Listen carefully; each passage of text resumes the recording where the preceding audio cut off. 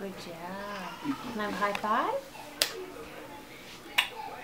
Um, how about Rebekah? Let's spell Rebekah again.